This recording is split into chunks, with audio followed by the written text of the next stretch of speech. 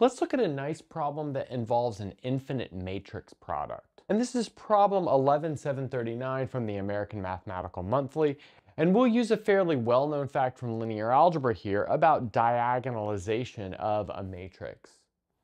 So let's recall that if we've got eigenvalues, lambda 1, lambda 2, up to lambda n, of an n by n matrix A, and their corresponding eigenvectors are v1, v2 up to vn, then P inverse times A times P is the diagonal matrix where the diagonal entries are those eigenvalues. And you might say, well, what's this matrix P?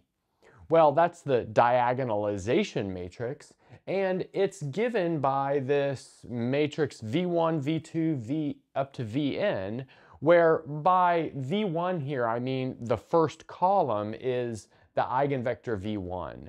And thus the second column is the eigenvector V2 and so on and so forth. Okay, so let's look at our goal here.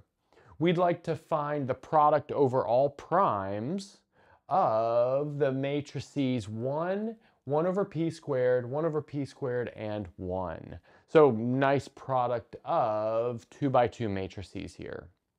So, well, since we talked about diagonalization already, we'd probably like to diagonalize this matrix. So how do you diagonalize a matrix? Well, based off what we see here, we need to find the eigenvalues and the eigenvectors. So of course, we first need to find the eigenvalues of, well, this matrix here. So how do we do that? Well, we look at the characteristic polynomial.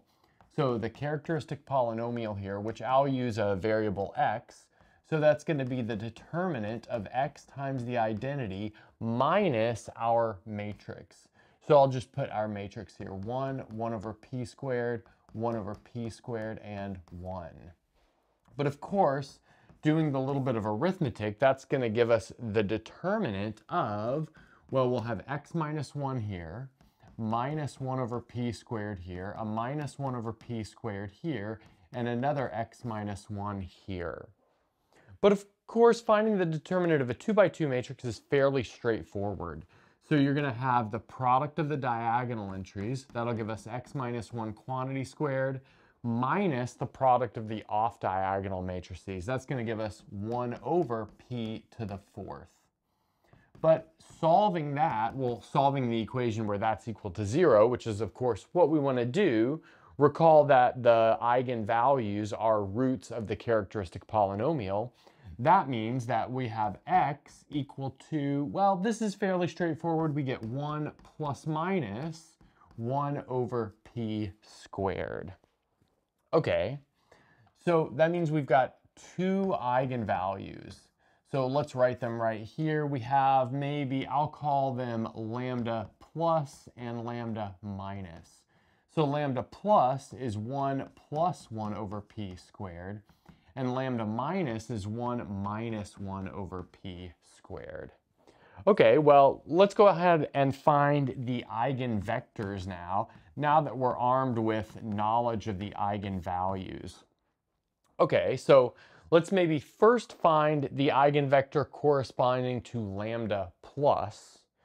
So in order to do that, we need to look at the null space of, well, it's going to be lambda plus times the identity matrix minus our matrix in question. This is the standard way to find the eigenvectors. And that's because that null space is exactly equal to the eigenspace with the appropriate eigenvalue. Okay, but now doing some quick arithmetic using the fact that lambda plus is 1 plus p squared, you'll see that what we're really aiming for is the null space of 1 over p squared minus 1 over p squared minus 1 over p squared and 1 over p squared. But observe that that matrix has, well, all of the entries are plus minus 1 over p squared, so we might as well factor out a 1 over p squared from all of the entries, but that will not change the null space. So this is in fact equal to the null space of the matrix 1, negative 1, negative 1, 1.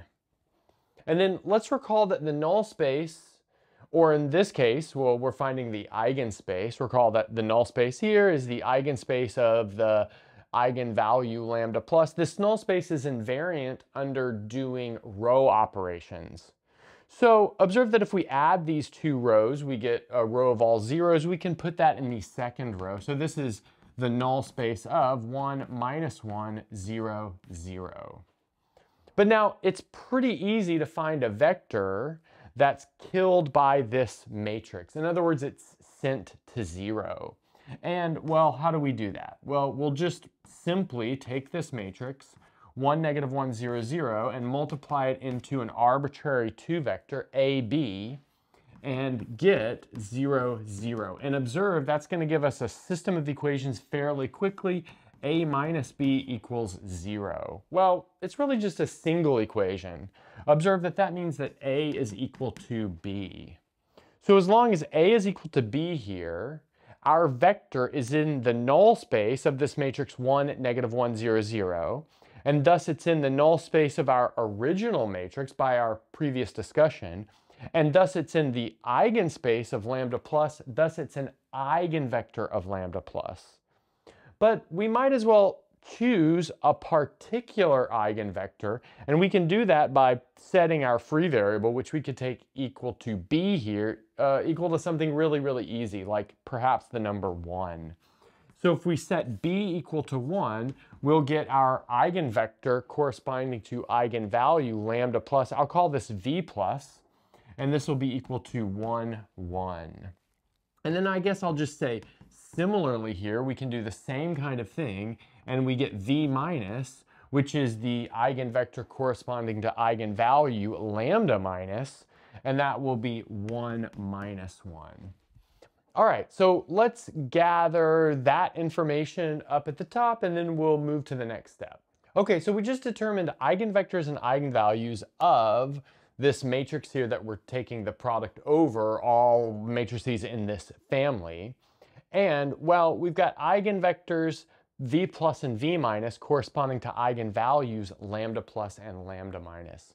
And observe what this tells us is that if we set uh, maybe matrix Q equal to 1, 1, 1 minus 1, notice that's the matrix formed where the first column is eigenvector v plus, the second column is eigenvector v minus, then we have Q inverse times our original matrix, 1, 1 over p squared, 1 over p squared, 1 times Q is equal to our diagonalized matrix, which will have lambda plus and lambda minus on the diagonals. In other words, 1 plus 1 over p squared, 0, 0, 1 minus 1 over p squared.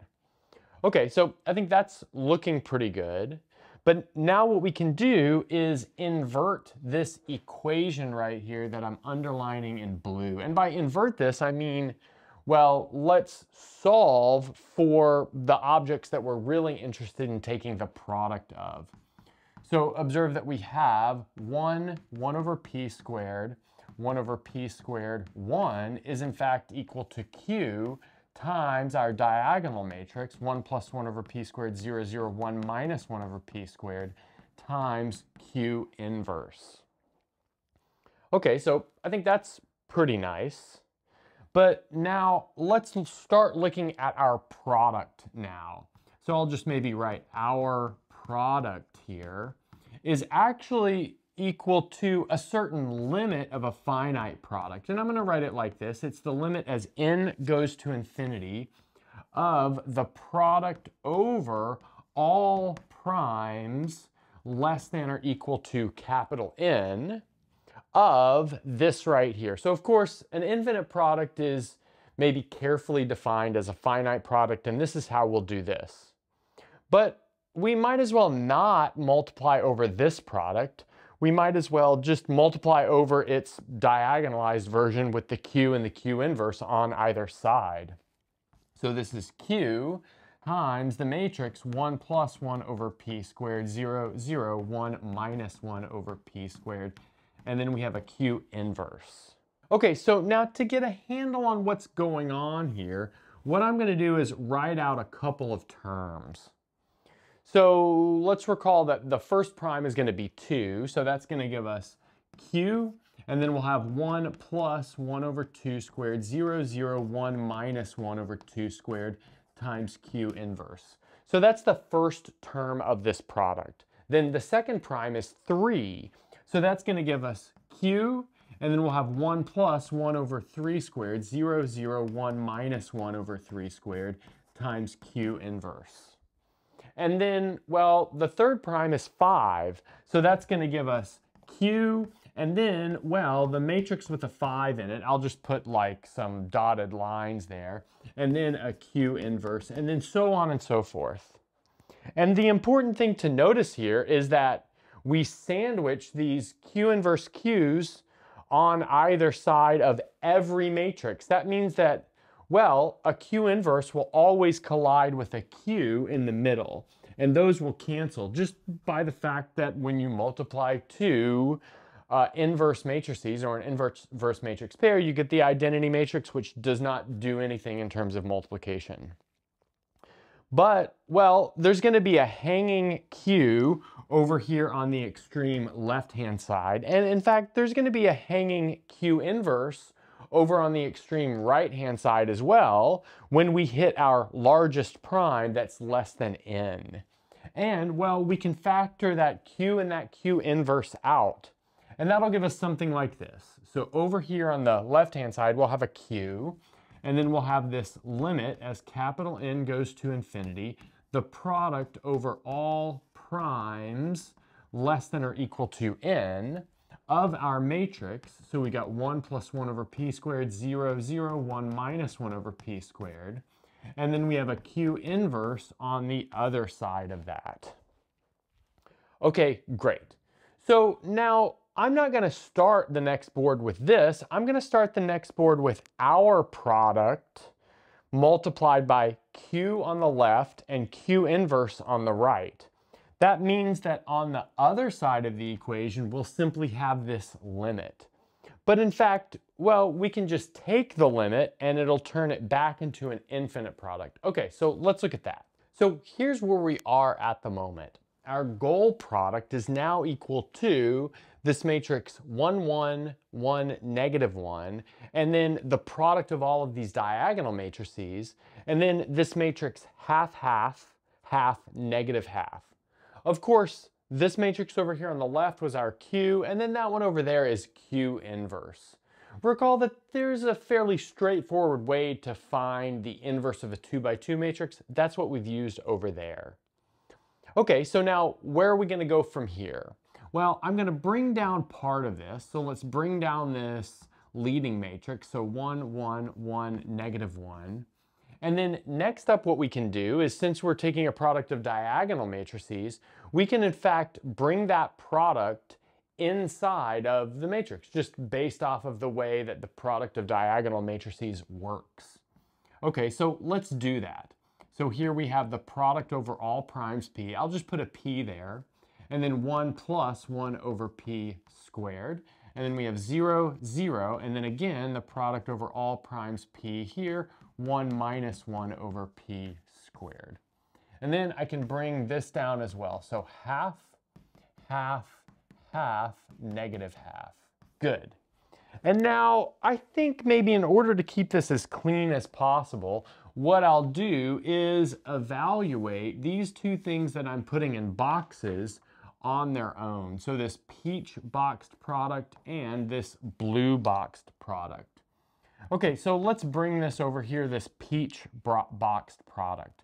We have the product over all primes p of 1 plus 1 over p squared. So the trick here is to rewrite this in kind of a crazy way. And it's going to be like this. So this is going to be the product over all primes of we've got 1 minus 1 over p to the fourth over 1 minus 1 over p squared. And now from here, we're going to switch the numerator and the denominator by taking reciprocals. So it's going to look something like this. We're going to have the product over all primes of now in the numerator will be 1 over 1 minus 1 over p squared. And then in the denominator will be 1 over 1 minus 1 over p to the fourth. And I'm doing that so I can expand each of those as geometric series. So now what can I do? So I'll have my product over all primes. And then up here in the numerator will now be equal to 1 plus 1 over p squared plus 1 over p to the fourth plus 1 over p to the sixth dot dot dot. And then in the denominator, what I'll have is 1 plus 1 over p to the fourth plus 1 over p to the eighth plus 1 over p to the 12th, dot, dot, dot. But now, when you multiply out the numerator as well as the denominator, you'll end up with the reciprocal of every natural number squared. And, well, that's simply because of the fundamental theorem of arithmetic. So just to write that out carefully, up in the numerator, we'll have 1 plus 1 over 2 squared plus 1 over 3 squared plus 1 over 4 squared, dot, dot, dot.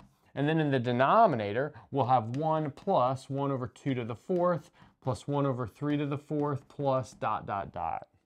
And then I guess I didn't explicitly say how that's happening in the denominator, but it's for very similar to reasons to what's happening in the numerator.